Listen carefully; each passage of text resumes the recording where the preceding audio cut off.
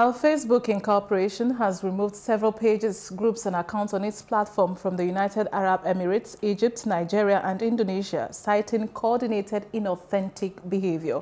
A total of 280 Facebook accounts, 149 pages and 43 groups and 121 Instagram accounts were removed, the social media platform said on Thursday. Facebook, which owns one-time rivals Instagram and WhatsApp, said the accounts were engaged in spreading content on topics like UAE's activity in Yemen, the Iran nuclear deal and the criticisms of Qatar, Turkey and Iran.